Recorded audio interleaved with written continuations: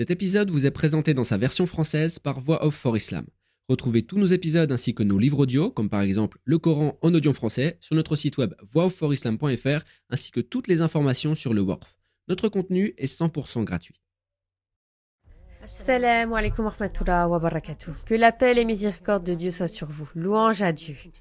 Nous allons voir aujourd'hui une nouvelle vie d'une bâtisseuse de notre nation. Le nom de cette bâtisseuse aujourd'hui est Maïmouna. Maïmouna bin al-Harith. C'était une femme unique. Et qu'est-ce qui la rendait unique? C'était son propre mariage avec le messager de Dieu, wassalam. Elle est née et elle a vécu à la Mecque. Et elle est la descendante d'une noble famille. Notamment, son nom d'origine n'était pas Maïmouna. En fait, elle s'appelait Barra. Mais quand le prophète wassalam l'a épousée, son nom a été changé en Maïmouna, ce qui signifie la femme bonne, la femme bénie, ou encore la femme qui apporte la bénédiction. Et je prie Dieu de nous faire l'honneur de faire partie de ces femmes. Sa famille était une famille très particulière. Sa sœur était la deuxième femme à s'être convertie à l'islam. Elle s'appelait Lubna. Aussi, notre sœur Zainab bin Khuzaima est sa demi-sœur maternelle. Et elle est elle aussi une des femmes du prophète alayhi. Maïmouna est aussi la tante de notre frère Khalid bin el-Walid et de notre frère Abdullah bin el-Abbas, deux étendards de la nation musulmane, subhanallah. Elle s'est convertie à l'islam avant l'émigration et elle vivait à la Mecque. Puis elle a déménagé à Médine trois ans après son mariage avec le messager de Dieu, alayhi salatu wassalam, que nous verrons. Elle a été décrite par quatre critères précis. Et je prie Dieu de tous nous en bénir, Inch'Allah. Premièrement, elle a été décrite comme une femme d'une très grande piété. Le prophète Ali salam a dit d'elle qu'elle était un exemple de bonté pour la nation.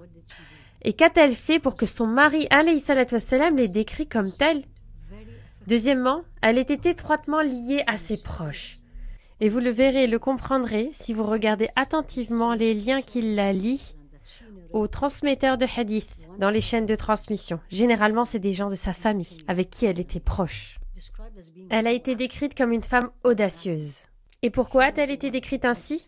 Parce qu'elle s'est proposée directement en mariage au prophète de Dieu, alayhi wassalam. En fait, il existe trois versions pour raconter cette histoire. Soit ils disent qu'elle aurait envoyé un de ses parents au messager de Dieu, alayhi qui était le mari de sa sœur. Une autre narration dit qu'elle s'est approchée elle-même du messager de Dieu, alayhi directement, lorsqu'ils étaient en convoi. Dans une autre version, il est rapporté qu'elle a demandé à un autre de ses parents d'aller chez le messager de Dieu, et de la proposer en mariage. Elle voulait tellement être l'une des mères des croyants. Mais quelle femme ne le voudrait pas? Et comme indiqué dans de nombreux épisodes, la sourate El-Ahzab dans le Coran a parlé de beaucoup d'événements qui s'est produits autour du messager de Dieu, alayhi wassalam, autour de ce qui se passait chez lui et entre les membres de sa famille. Et quand elle s'est proposée au messager de Dieu, parce qu'elle voulait tellement être l'une de ces femmes, d'être la mère des croyants, alors un verset a été révélé, le verset 50 de la sourate El-Ahzab. Dieu dit au messager de Dieu, avec qui il lui est permis de se marier ou non. Et dans le sens, le verset dit, et une femme croyante si elle se donne au prophète. Et les érudits ont dit que c'était Maïmouna, la femme visée par ce verset. Et le quatrième point, maintenant, qui fait d'elle une femme exceptionnelle, c'est qu'elle a laissé un héritage énorme à la nation. Elle était une des législatrices de la jurisprudence.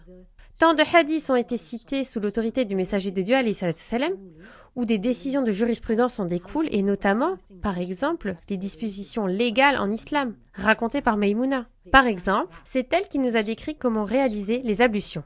Elle a dit qu'elle préparait l'eau pour le messager de Dieu, salam, et elle l'a décrite. Puis elle a décrit ce qu'il faisait, salam, pas à pas. Voix Off for Islam est un WORF, un projet financé par la communauté pour la communauté. Participer au WORF, c'est contribuer à des aumônes continues comme la construction de puits, la construction d'écoles ou encore le développement du média Voix Off for Islam. Tu trouveras toutes les informations sur notre site web. Clique sur le lien en description de la vidéo pour accéder directement à la page détaillée du WORF. Elle ne s'est pas seulement contentée de transmettre ce qui était nécessaire pour faire les ablutions, au contraire, elle a décrit les ablutions dans son intégralité, du début à la fin. Citons un autre hadith magnifique. Vous connaissez tous la vertu de prier dans la mosquée du prophète Ali salatu wassalam. Maïmouna connaissait une vieille femme qui était malade dans la ville et elle a raconté son histoire. La dame dit Si Dieu Tout-Puissant me guérit, j'irai à Jérusalem pour prier à la mosquée Al-Aqsa. Dieu Tout-Puissant la guérit, subhanallah. Et elle dit à Maïmouna, je vais aller prier là-bas. Maïmouna lui dit, n'y va pas, reste plutôt à ta place, mange ce que tu as préparé, et prie dans la mosquée du messager de Dieu, alayhi salatu salam. Et le prophète, alayhi salatu salam, l'a entendu. Et il lui dit, tu as eu raison. Une prière dans ma mosquée et quelle est la mosquée du prophète, alayhi salatu salam vaut mieux que mille prières dans n'importe quelle mosquée ou partout ailleurs, sauf bien sûr dans la maison sacrée la grande mosquée à la Mecque. Et le troisième hadith que l'on peut rapporter qui est magnifique, c'est son attention envers le messager de Dieu, alayhi salatu wassalam. Un jour, elle apporta de la nourriture au prophète, alayhi salatu qui mangeait avec notre frère Khalid el-Waled et notre frère el-Fed, le mari de sa sœur. Et elle apporta le repas au messager de Dieu, alayhi salatu. C'était un repas avec de la viande. Et quand le messager de Dieu, alayhi salatu wassalam, était sur le point de manger ce morceau de viande, elle lui dit c'est de la viande de lézard. C'est un type de lézard. À ce moment, le messager de Dieu, salam, a éloigné le plat de lui et a dit Je ne mange pas de cette viande, mais vous pouvez en manger si vous le souhaitez. Et ce hadith nous enseigne, il nous dit que si le messager de Dieu, salam, refuse de manger quelque chose ou de faire quelque chose, si cela n'est pas en contradiction avec les valeurs de l'islam, vous pouvez le manger. C'est une décision de jurisprudence qui ne nous interdit pas de manger cela. Alors El-Fadr et notre frère Ibn el-Waled en a mangé, mais Maimouna, elle, n'en a pas mangé. Regardez avec attention. Elle dit Je ne mangerai pas ce que mon mari, le messager de Dieu, salam, lui-même ne mange pas. Elle était très attentionnée. Et enfin, parmi les hadiths qu'elle a rapportés, c'est une règle très importante pour les musulmans pendant le Hajj. En effet, le jour de Arafat, le messager de Dieu, salam, se tenait sur la montagne.